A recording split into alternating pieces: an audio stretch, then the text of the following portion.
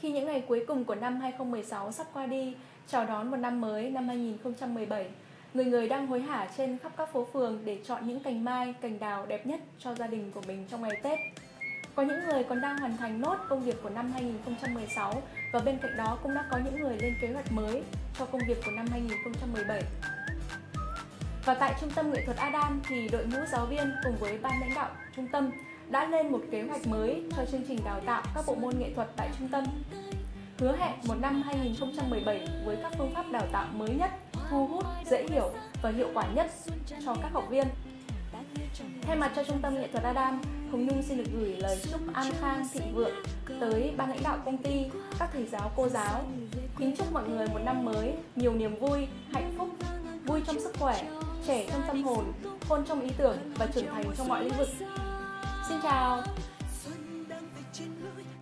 Chúc mọi người năm mới an khang thịnh vượng, sức khỏe dồi dào, vạn sự như ý, gặt hái nhiều thành công.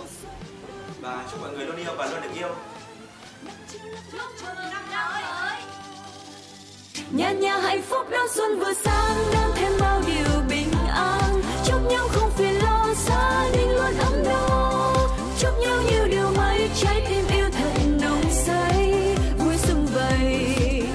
tết này.